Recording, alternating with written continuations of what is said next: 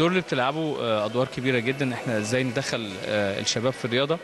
هو الرياضة بتبدأ من قبل أربع سنوات. يعني في بعض الألعاب علميا يعني إحنا عارفينه بتبدأ قبل أربع سنوات. إحنا عندنا الجمباز عندنا السباحة بتبدأ قبل أربع سنوات. آه، بيبدأ من بعد ست سنوات لغاية تقريبا 11 سنة مجموعة من الألعاب أو الرياضات بتاخد شكل. وبعد كده الباقي اللي هي الأعمار المختلفة. فهي المراحل المختلفة اللي إحنا بنشتغل فيها على التنمية والتنشئة المتكاملة آه، للنشء والشباب. آه، بنشتغل من خلال الرياضة آه، هذا الدمج وهذه التنشئة. يعني ال- الإنسان الرياضي الرياضة بتقومه من ناحية أو النواحي البدنيه والنفسية والعقلية والاجتماعية.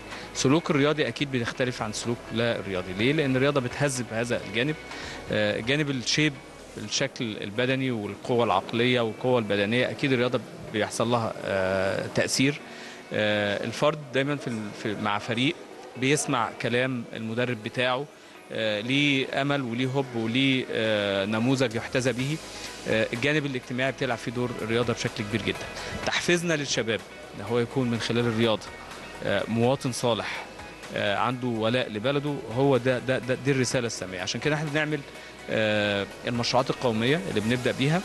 ولو في جزء فوق في الرياضة القمية في رياضة البطولة آه، طبقا للقوانين في بينشا خلافات واختلافات بنحاول إن إحنا ننزل شوية للمستوى الأكبر نركز الوزاره استراتيجيتها بتختلف بندخل لحل المشاكل فيما يرتبط بالدولة والبلد وما يكونش في قدوة غير صالحة. أنا داخل أساسا بفكرة وعرضتها واتعرضت وإزاي إن إحنا آه، نطور وما نرتبطش بعمل بيروقراطي. مراكز شباب شيء مهم جدا جدا جدا. وشفنا يعني سياده الرئيس اتكلم كتير جدا. استراتيجية بناء الإنسان. فمراكز الشباب هي ال- الشيء الحيوي. زي الجسم ما فيه عمود فقري زي الجسم ما فيه آه يعني spinal cord ده النخاع الشوكي اللي بيمر فيه الكهرباء من المخ في كل حاجة.